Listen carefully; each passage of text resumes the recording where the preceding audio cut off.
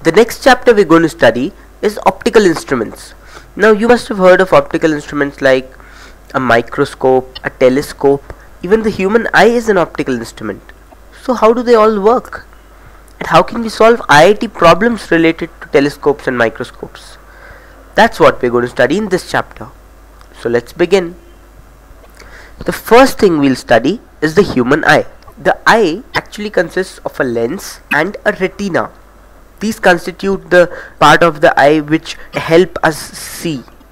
The lens of the eye is called the cornea and it's a convex lens. This is how you spell cornea. Cornea. One interesting fact about the human eye is that, you know, the distance between the lens and the back part of the eye called the retina is fixed. And another interesting part is that wherever an object is placed, when it gets refracted through the eye lens, its image is always formed on the retina. So the image distance is fixed in case of a human eye. So you know I may place an object here or I may place an object here or I may place an object here but the image of this object will always be formed on the retina. So this distance is actually equal to V the image distance and this is fixed. Now if the image distance is fixed how is it that for different object distances we can still see the image at the same place the retina? This is possible because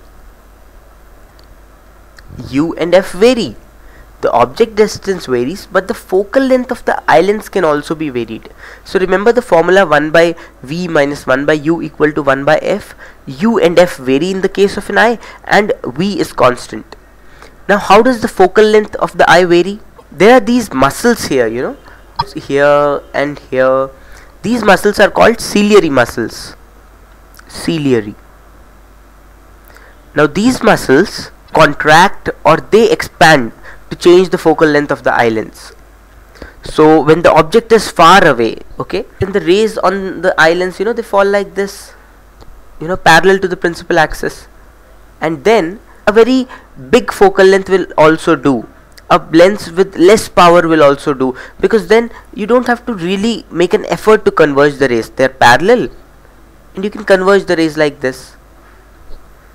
So the focal length when the object is at infinity it's high. When the object comes closer and closer to the lens the lens has to become stronger it has to become more powerful. And when the lens has greater power it has lesser focal length because it converges rays faster. So when the object is brought nearer and nearer to the lens you know let's say when the object is brought here then the lens must have a lesser focal length and a greater power because in the same distance v here also you know the rays got converged in the distance v and even when the object has been brought closer to the lens in the same distance v the rays again have to converge like this. So clearly these rays are diverging right? And the rays will become more and more diverging as the object is brought closer and closer to the lens. So the lens must become more and more powerful as the object keeps approaching the lens right? And it's the ciliary muscles which contract you know to provide more power to the lens. So you can say that initially you know when the object is placed at infinity the lens has a shape something like this. And as the object is brought closer the lens becomes fatter because its power increases. You know? And when you know you hold something very close to your eye that's when the ciliary muscles contract the most. And the lens is almost circular you know like this. Now when the object is brought to a distance d a limit is reached because you know you can't decrease the focal length or increase the power of the lens infinitely. You can't say that I'll bring an object 1 millimeter close to the eye and the ciliary muscles should so contract that the eye lens forms an image still on the retina. After all if you bring an object here okay look at the rays you know they're diverging so much. How can they be converged in such a short distance you know? In this distance. So there is a certain distance called d this distance d is called the least distance of distinct vision. Least distance of distinct vision. This means that when you bring an object up till a distance d from the eye lens, it's visible, it's clear and its image is formed in the retina. But if you bring the object closer than d, no matter what you do, the image of the object will not be formed on the retina. Because no matter how much the ciliary muscles contract you know they will just not be able to contract enough to make the lens powerful enough to make the rays converge at the retina. Up till d the rays converge at the re retina. Here this is the retina. But when you get closer than d the rays converge after the retina. Like this. So no matter what you do you'll not see a clear image. Even you must have noticed it you know. Let's say you hold your finger in front of you and you keep bringing that finger closer to your eyes closer closer. There will come a stage when no matter you know how hard you strain your eyes you cannot see the finger clearly. This distance d varies with age. For example for teenagers it's around 10 centimeters. For people around the age of 40 years it's around 25 centimeters. For people around the age of 50 years or 60 years it's around 40 centimeters. So you know they say that old people cannot read small text they cannot read books without spectacles. That's because their least distance of distinct vision has increased. So they can't even see an object that is 40 centimeters away from them clearly. That is why their vision becomes weak. Another interesting point about the eye is that the image formed by the eye is always real and inverted. It's at the retina and it's real and inverted as you can see here you know the inverted image. You must remember this property. So as you can see here as the object is brought closer and closer to the eye the size of the image here increases up till a distance d. And d is the least distance of distinct vision. Let's have a look at an animation that will show you even more clearly how the eye forms an image so as you can see in this animation, as the distance of the object from the eye is changed from infinity to d, the eye keeps on, you know, expanding at the center and the size of the image keeps increasing. Have a look at it again. As you can see, the ciliary muscles are contracting, the eye is getting bigger and bigger in terms of the power of its lens and the image size is also getting bigger and bigger up till a distance d centimeters and the image is being formed on the retina. There you go. Now let's study about some defects in the eye. The defects in the eye are mainly caused because the image is not formed in the retina due to some reason. It's formed before the retina or it's formed after the retina.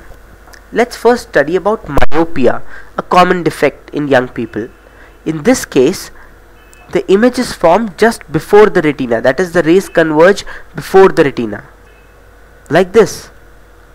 This generally happens because of over bulging of the eyeball. You see the lens of the eye becomes so powerful that it converges the rays before the retina itself. This defect is called as I just said myopia or short-sightedness. In myopia you cannot see far away objects clearly but you can see you know objects which are placed near your eye very clearly. Most young people as you already know you know have this defect and all of us wear glasses or we have contact lenses to correct this defect. So how do glasses or contact lenses help correct myopia? Well you see if you had a concave lens here like this then that concave lens would diverge the converging rays just so much that you know the rays now meet at the retina. So if you choose a concave lens of a specific power then you can make the rays converge at the retina. So the corrective lens in case of myopia is a concave lens. Another interesting defect is when the rays converge after the retina. This generally happens with old people. You see the lens becomes weak and the ciliary muscles you know they become very weak. So they lose their power to contract and you know increase the power of the lens. So no matter how much they contract they're still not able to converge the rays at the retina. They're too weak and because of the weak ciliary muscles you know there's difficulty in converging and the rays converge slowly you know after the retina. This defect is called hypermetropia or farsightedness. This is common in old people. You see what actually happens in this case is that people cannot see things which are very near their eyes.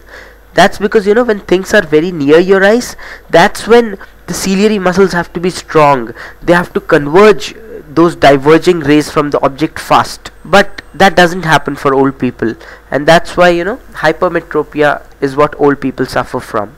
So how can you correct hypermetropia or farsightedness? You can do that by using a convex lens.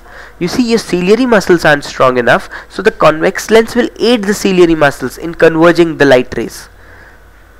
And if you use a convex lens of the appropriate power it will converge the rays exactly at the retina there you go.